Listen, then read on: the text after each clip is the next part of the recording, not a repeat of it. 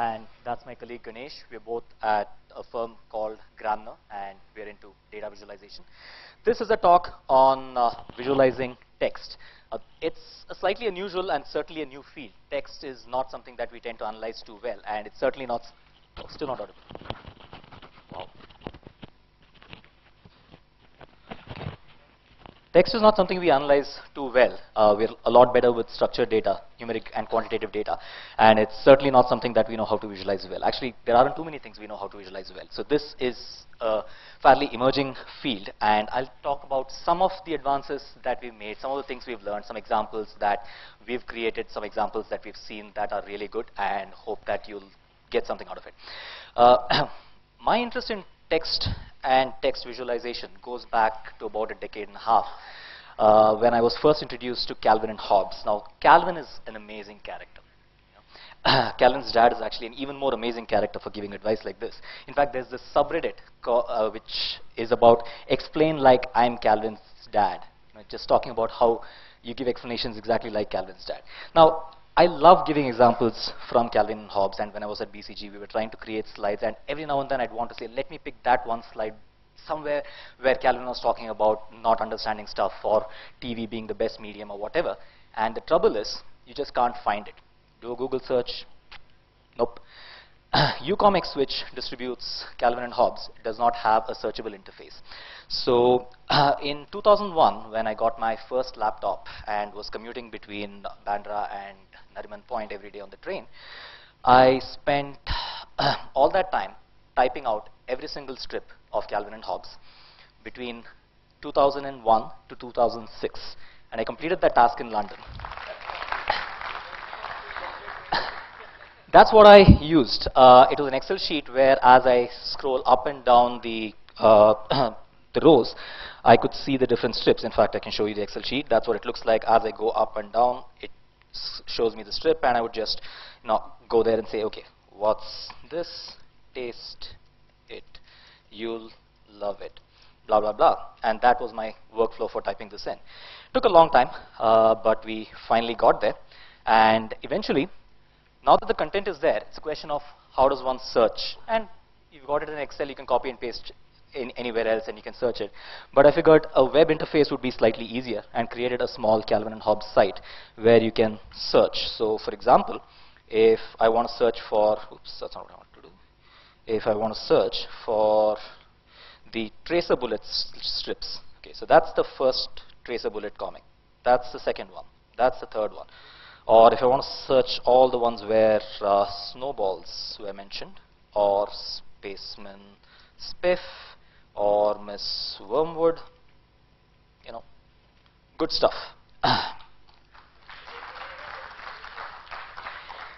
it went on uh, Reddit and a few other places a number of times, and one of those happy occasions, uh, it was noticed by Ucomics legal team, and this site is now shut down. I wrote back saying, look, happy to offer this text. Feel free to use it on your site. I'll build it for you if you want. No response. But the good part is this text exists, and I have this corpus, and I started playing around with it, which marks the start of my interest in text analysis. I said, what does Bill Watterson talk about? What are the kinds of words that he uses more often?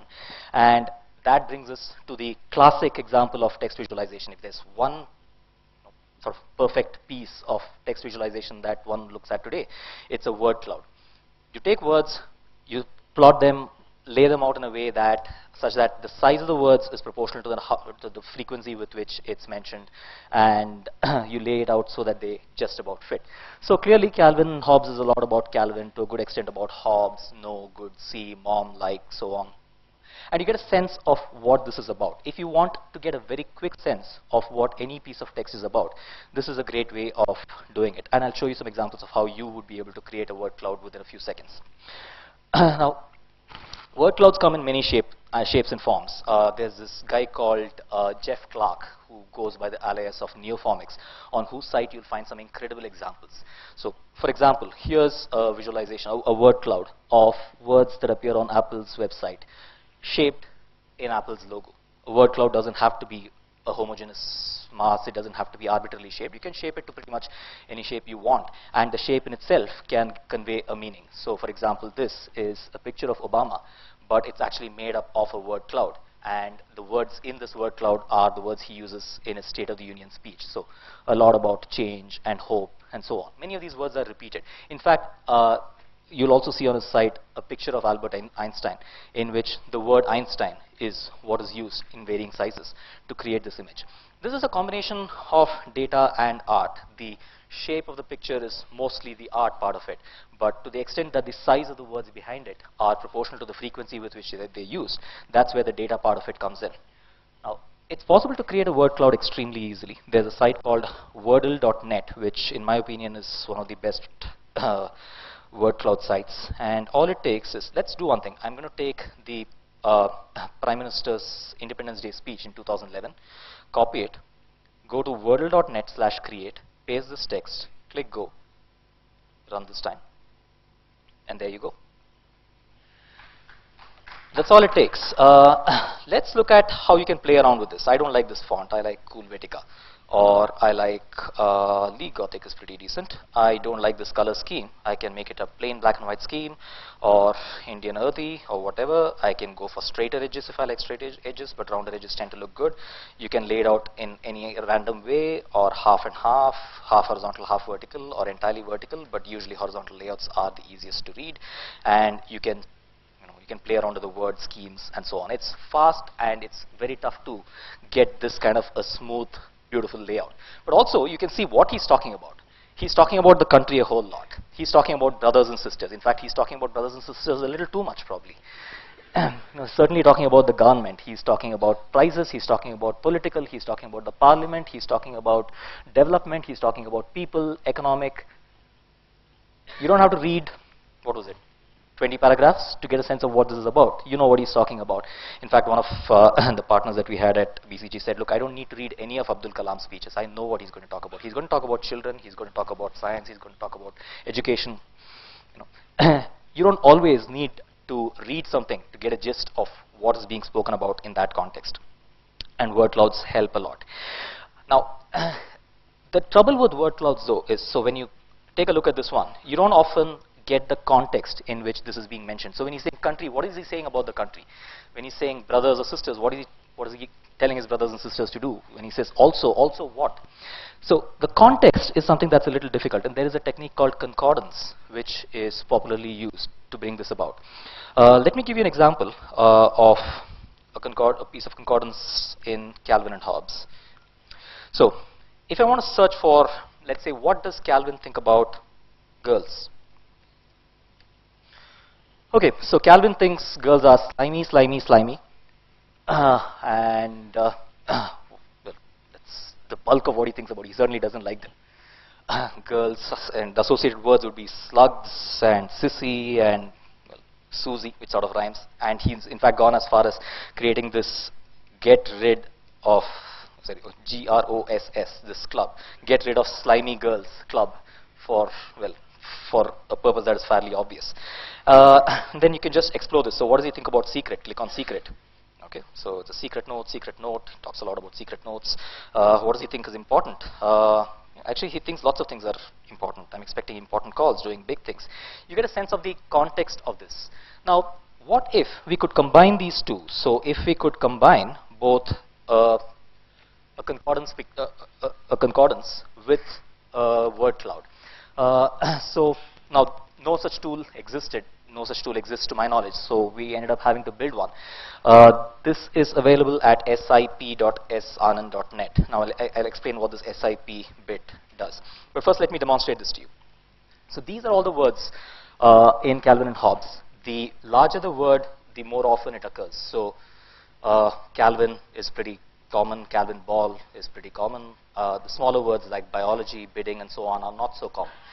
You can play around this with this a little bit. Um, you can ignore the common words. So those are the words that are, sorry. You, you, can ignore the infrequent words. So these are the words that are mentioned fairly often. You can play around with the scale a little bit, increase the scale, decrease the scale. Um, the contrast, now that bears a bit of explanation. Now, you may have heard of Amazon's statistically improbable phrases. They brought this, uh, they popularized this term. When they were describing books, they said if you wanted to find out what a book was about, if you want to get the key elements of the plot, you don't need to read the book. We'll just give you the improbable phrases. Now, the improbable phrases are simply those phrases that tend to occur in the book reasonably often, but not as often in the English language. So you just say, this book has the word, has the phrase, uh, let's say, Spaceman Spiff. 5% uh, of the time. The English language has that 0.05% of the time. So that's an extremely improbable phrase. Whereas something like good luck occurs 10% of the time here and 5% of the time in the English corpus, so it's not such a big deal. So that's what's going on behind the scenes here. The darker the word, the more improbable it is in the English language. The lighter the word, the more probable it is. So if I want to see what are the words that are very improbable, I can just increase the contrast on this one. Hobbes, Spiff, Susie. These are among the more often used words that are quite uh, improbable in the English language. Um, reduce the contrast. Stuff like this. you can play around with this and see uh, what where that gets you. The site is sip.s-anand.net. Uh, and this brings together two techniques of uh, text visualization, a word cloud and a concordance. Where does one use this sort of a thing? Are there any business examples where this tends to get used? Actually, yes, and in a number of places. So to give you a couple. Uh, we are doing a piece of work with a bank where we took all of the text that was mentioned in their uh, the, the, transactions. This was actually from checks. So let's take all of the uh, text that's written in these check transactions, the, the to or the description or whatever, and put it all together and create a word cloud. So a lot of it is about cash, so you pay as cash. But you can also see some details around where it's going to. So for instance, Fabit is going to HDFC. Uh, there's a bit, a bit, going to Reliance. There's a bit going to escrow accounts. You can also see the kinds of names that these checks are being written to. A lot of Shahs, Patels. Th this is incidentally Bombay data, so there is uh, you know slight bias there, but I suspect that this may be the case even otherwise a lot of payments being made to companies, limited, public limited companies, LICs and so on.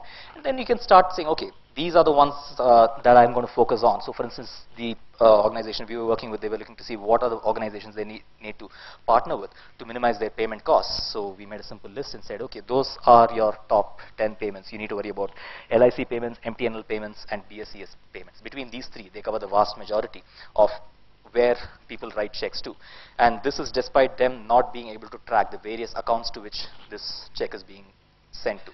So it helps summarize what is available uh, in an, in an unstructured form.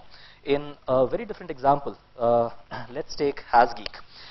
The HasGeek job board, if you were to, uh, sorry, for those of you who are not aware of uh, the HasGeek job board, HasGeek has a job board where people can post jobs and uh, I pulled out the description of all of the jobs that uh, were posted since last August.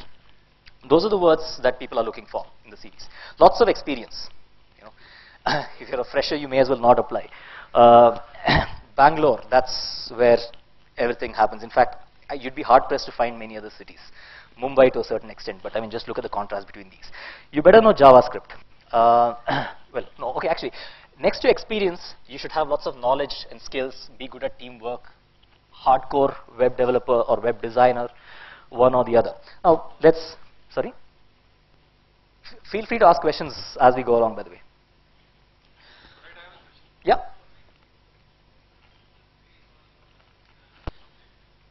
Is it possible to use a phrase or an n-gram to do this? Yes, and I'll show you an example where we do that. The trouble with a phrase or an n-gram is differentiating between a multiple n's. So how do I know whether a word is, so let's say I have call center. Now I, that has two words, call center and the phrase call center. So how do I know when I use call independently and when I use call center the phrase together? Tough problem, I don't have the answer. Some people do have techniques that I'm not aware of, but techniques exist. But a simple way of doing it is to say, look, I'm going to take not just every single word, but I'm going to take the words and bigrams and trigrams and so on. And I'll show you an example where we did unigrams, bigrams, trigrams, and walk through that. Yes.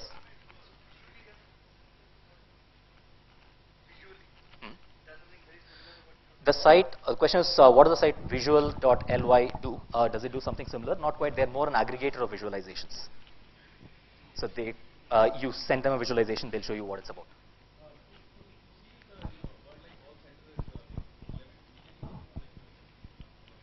And you'll repeat the questions. Is it possible to figure out if a word like call center is more relevant by using?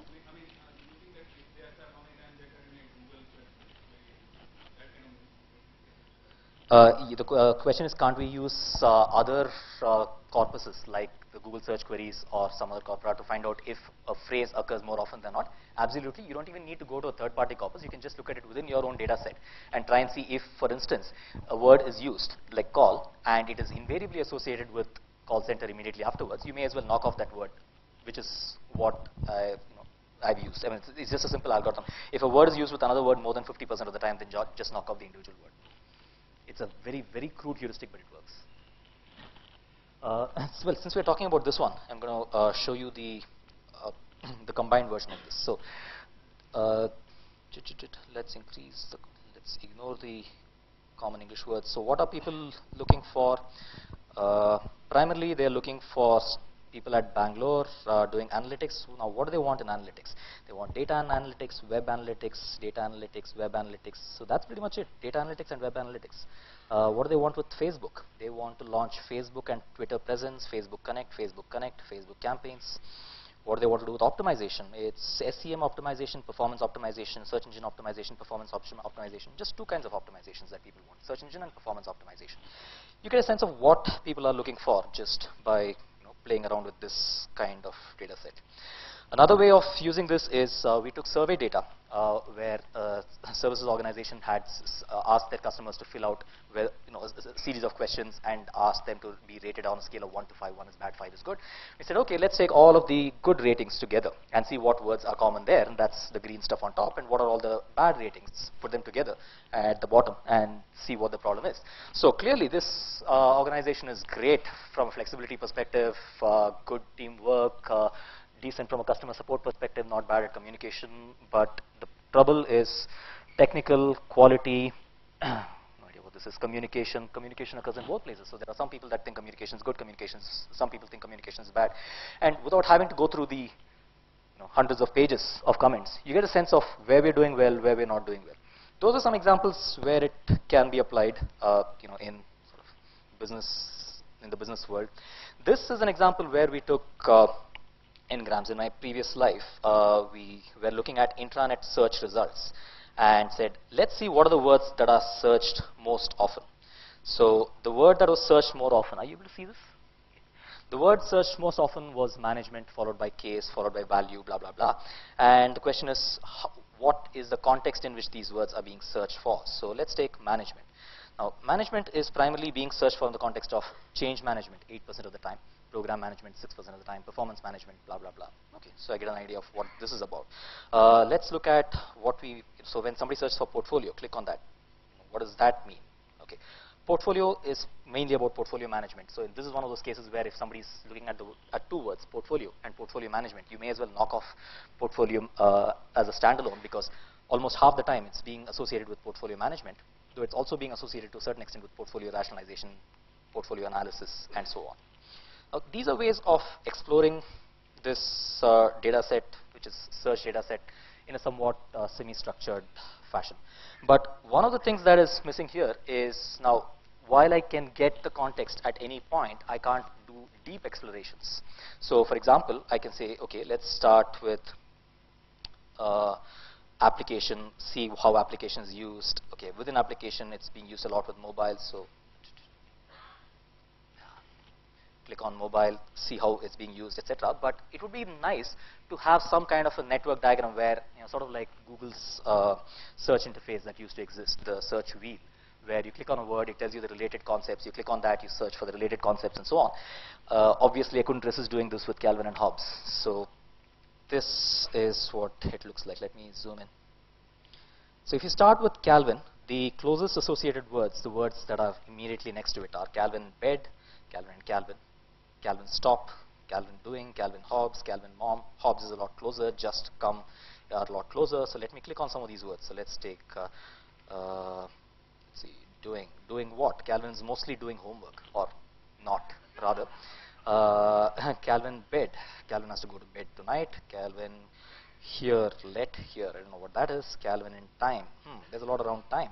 So bedtime, clearly. Time machine.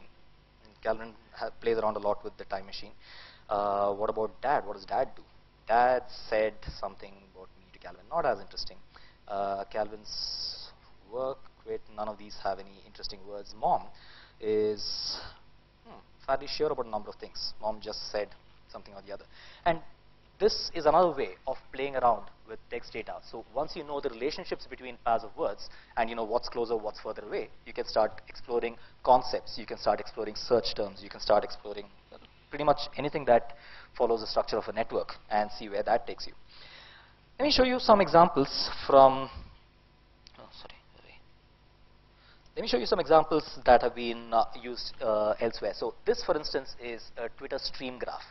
Uh, Twitter stream graph is, you search for a phrase. In this particular case, you search for the phrase data visualization. And it shows you a timeline where different words are depicted as well, a, an area graph.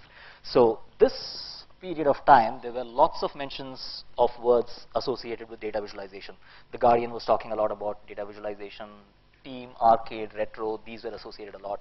In this particular time, there's a lot talking about, lot of mention about Twitter, I presume that's Twitter Inc., a lot of mention about social networks here. And that's another way of seeing what is the ebb or the flow of uh, some of the words over time in the context of a specific, specific word.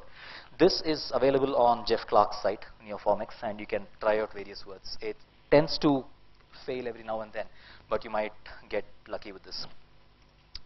Another is a trends map, where you can take the same words and plot it instead of on a timeline, it geographically. So what are the words that are trending in specific locations? So for example, in India, when I took the screenshot, uh, the central uh, regions of India were talking a lot about Cargill and revenue and Modi. Hmm. Amitabh was fairly popular in Mumbai, isn't he always? and furniture, Muslims, what is this? Uh, riots, those were being mentioned a fair bit in South. And this is a real-time uh, uh, feed that you can check out on Trends Map. Uh, that doesn't look too good.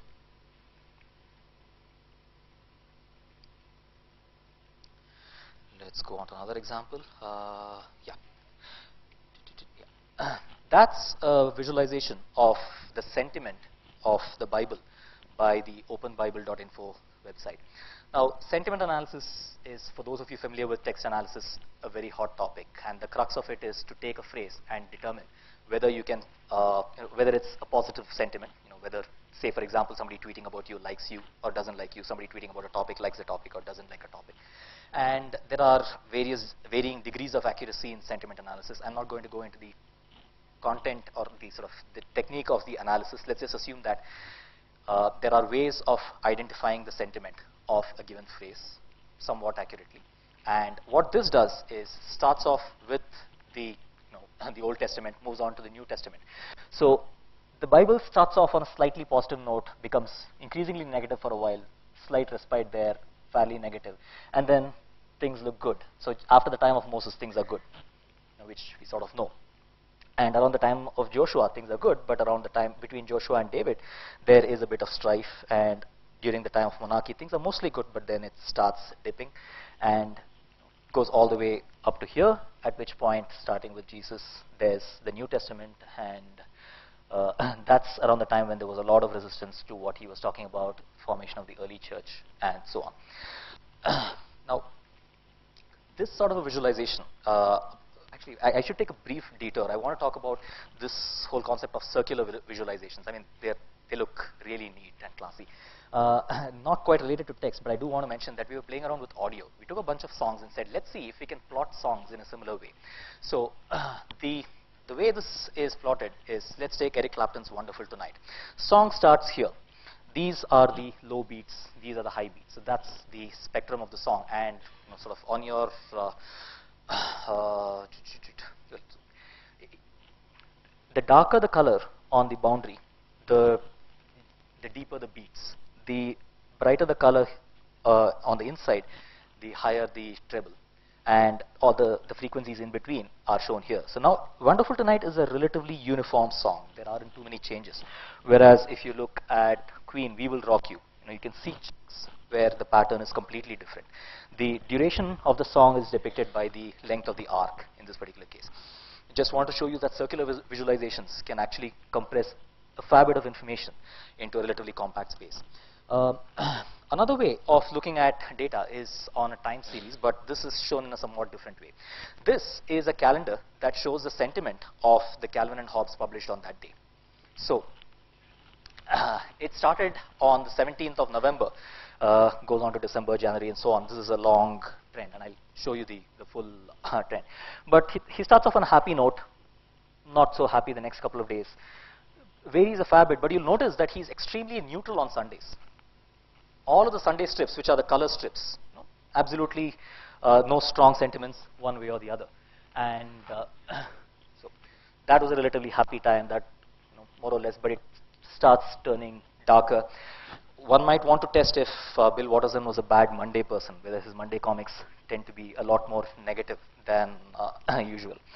Uh, that's, uh, I'll show you a slightly longer version of this. So that's that's the point actually. So maybe he was uh, being very neutral on Saturdays rather than Sundays. You never know. No, but he did have the habit of writing uh, fairly early, so it may not be a reflection of uh, his mood versus the day he wrote it on, but it certainly is a reflection of the format because the format on Sundays is a color larger strip than it is on any other day. Uh, and you can get a sense of what the pattern looks like over time. See, he starts off being reasonably polarized. There's heavy reds and greens to start with. But over time, it tends to tone down. And in the middle, so in this region, he's not that opinionated. There was a stretch where he was fairly okay. And then towards the end, it starts picking up again.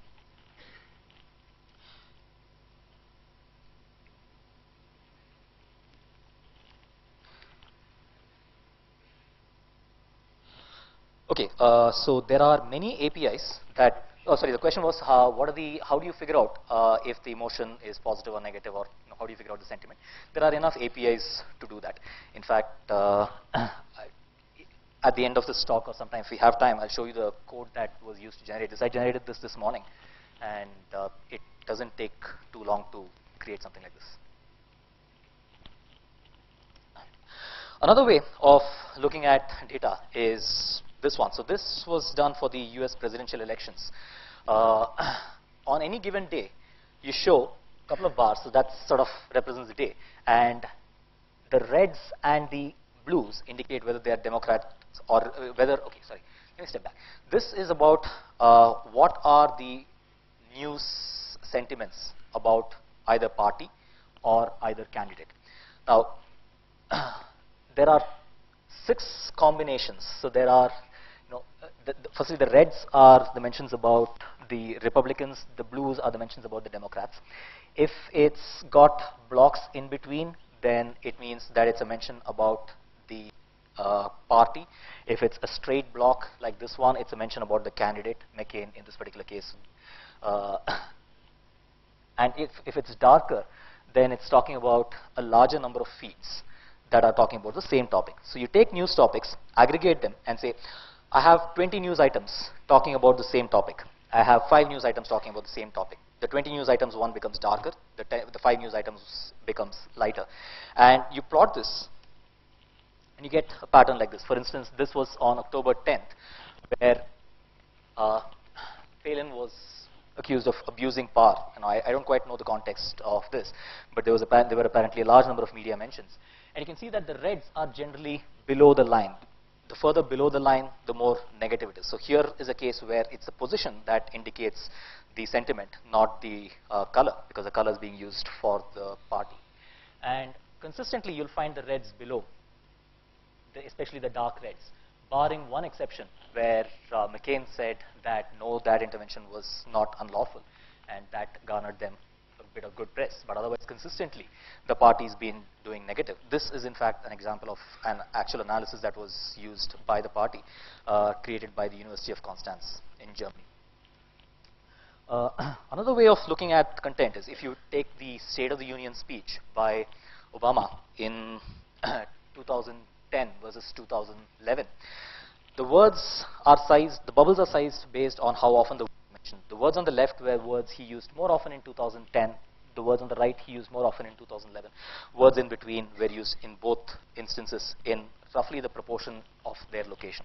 So you can see that 2010 is largely about financial, bill, problems, million, pay, all of the financial crisis issues, whereas 2011 is about the future, best, success, high, idea, education, research, technology, clearly an election year.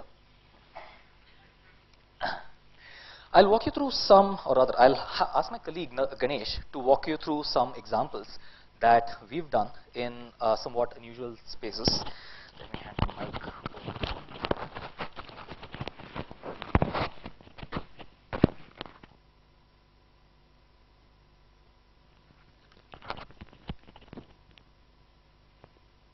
Thanks, Anand. Uh, we'll talk about some interesting case studies from the Indian context. I'll stay away from Calvin and Hobbes. It's not my cup of tea. Uh, we wanted to take up some Indian epic and uh, uh visualize large volumes of uh, text. And Mahabharata was an ideal uh, candidate for this because it has over 1.8 million words spread across 18 chapters and over 500 sub-chapters. So we read, uh, we actually scanned the complete text of Mahabharata in, uh, in English and uh, created some visualizations on top of it. We show a sample of it here.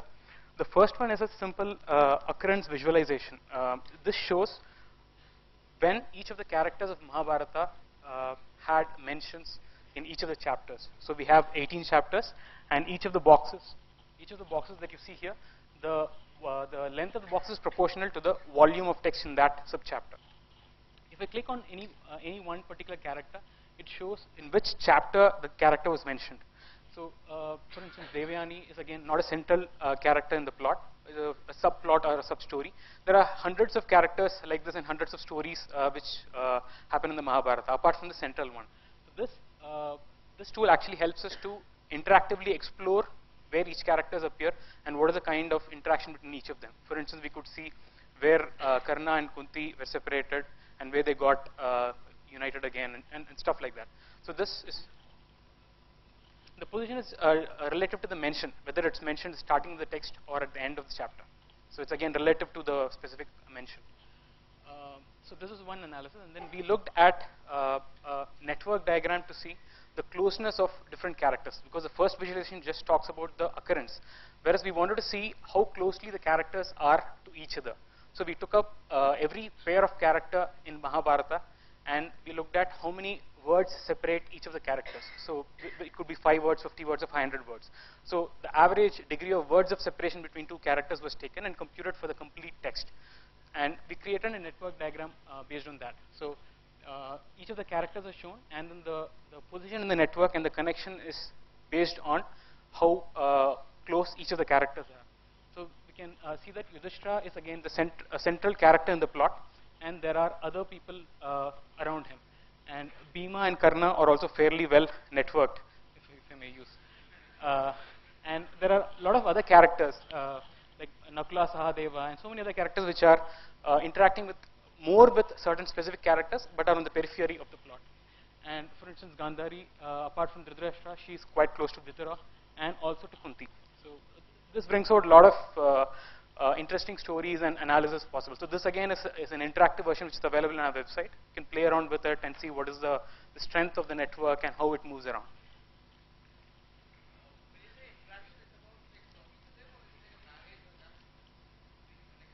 No, sorry. Yeah. Um, sorry, I didn't get the question. You're asking.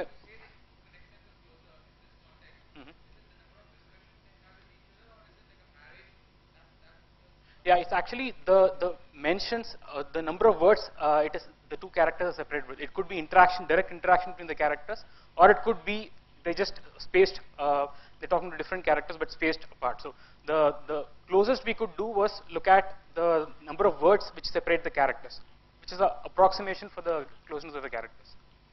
Yeah.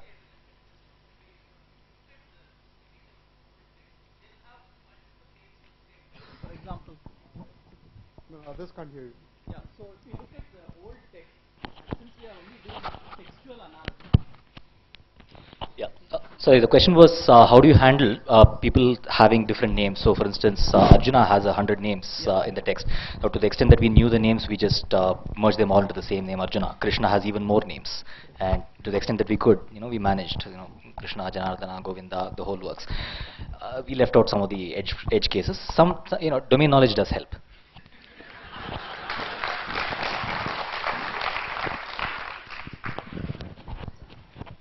Uh, yeah.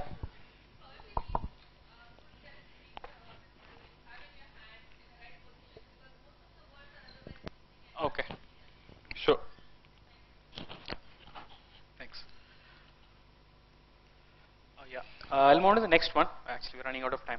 Uh, we did an analysis of uh, all the tweets in India. So we took up one week worth of geocoded tweets uh, from India. There were about 80,000 tweets. Uh, so this again includes only the geocoded tweets. And uh, so we did a document comparison analysis. Uh, so similar to the other one that you saw, the, the US case study. So here we have shown a bubble chart wherein the the bubble, the size of the bubble is proportional to the number of mentions of that particular word, and we've uh, separated into two sections: the words by people with low followers, whereas the words by people with uh, more number of followers. So certain things which clearly come out are uh, people with high followers tend to use a lot of hashtags, and they tend to be relatively, if I may use the word, more polite with good mornings, good day, thanks, and so on. And people with low followers tend to use uh, words no, traffic, and high extremely more. Uh, the, co- the correlation between uh, the low followers and the words uh, they use this, these three words is very high. So there are other contrast analysis which we've done. Again, in the interest of time, I'm skipping those. They are available in our blog. So I'll move to the next one. So this looks at which names score better marks. So this is uh, uh, interesting and our favorite data set. So, uh, so this data is actually from Tamil Nadu board exams. The 10th and 12th uh, standard board exams has records of over 10 lakh students and uh, for more than five years of past five years of data. So what we've done here is this particular analysis, we have taken up uh, interactive tree map to show all the, uh, or rather the top 5,000 names. The top 5,000 names and then the boxes show the number of uh, occurrence of that particular name. Obviously the, the bigger boxes mean uh, the no- names are more popular, the smaller boxes the reverse. And the color indicates the score. Uh, dark blue means higher marks and closer to white is low. Uh, certain interesting things come out. If I look at high marks, there are uh, certain specific kinds of names which come up. Shweta, Shriya, and more urban city kind of names come up here. Uh, and apart from that, we also saw a lot of Agarwals, Guptas, Jains, and a lot of North Indian names coming here. This is from Tamil Nadu. And uh, low marks, again, you see some big boxes, and many of the names are again more traditional names like Murugesan, Ayyappan, and, and, and so on.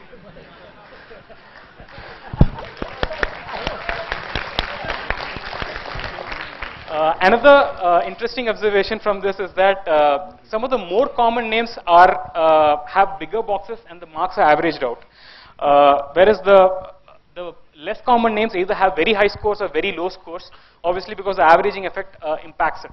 So, so this is one of the analyses we could do on this.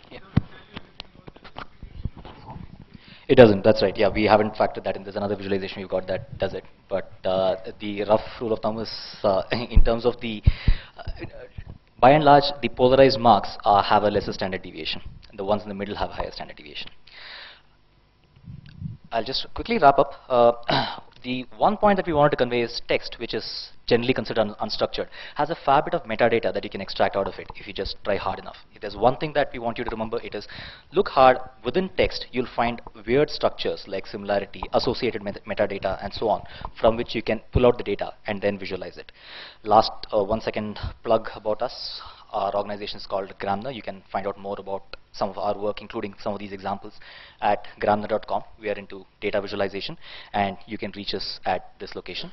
I guess we are out of time, so we probably won't take questions. Since we just have uh, we have lunch right after this, um, uh, we have time for a couple of questions if you have any. Otherwise, uh, yeah, sorry, go on. The uh, question is which platform is it made on? Python. Like in the example of Mahabharata, the noun that you were looking for, were you using any parser or it was just your own knowledge? In a sentence, if you are looking like, if you are using a Stanford parser, you're looking for the noun, then you can have all the combinations of noun. Yeah, so- so did you use those parsers or something? Uh, let me just rephrase that question to how do we figure out the names.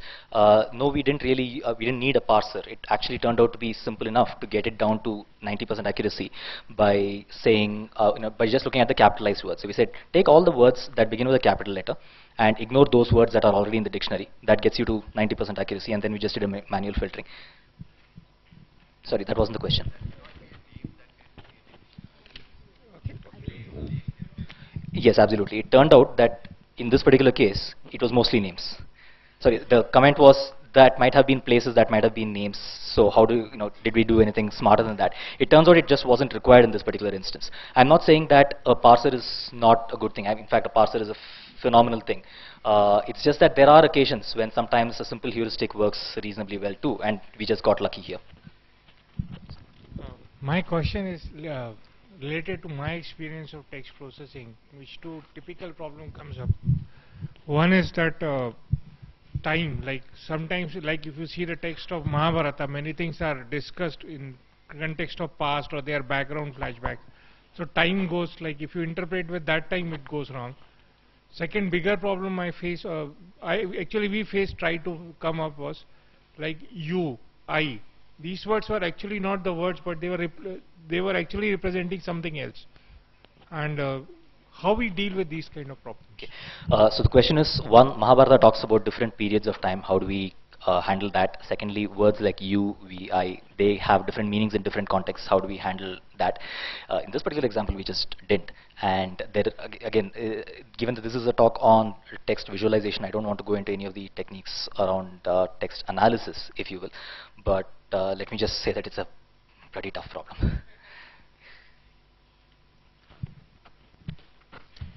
Uh, you mentioned about sentiment analysis. You know, uh, do you have any open source APIs or something? Can you briefly tell that? Okay, uh, the question was, do we have any open source API on sentiment analysis? No, but a whole bunch of other people do. In fact, let me see if I can uh, find the code that we used to do this analysis.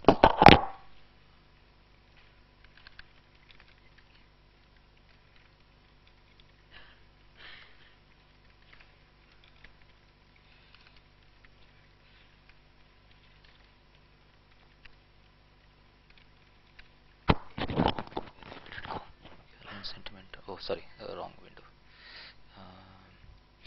Um, uh, the one we used was Viralheat. So Viralheat provides an API where you can just pass in a phrase and you'll get the sentiment against it. Uh, This was the first one that early this morning I googled and found. You'll find hundreds of others. Uh, Python's NLTK has some parsers which will help you extract you know, the meaningful text out of it to send to these or any other APIs. And there are a number of others as well. Uh, yeah, sorry, go One ahead. last question.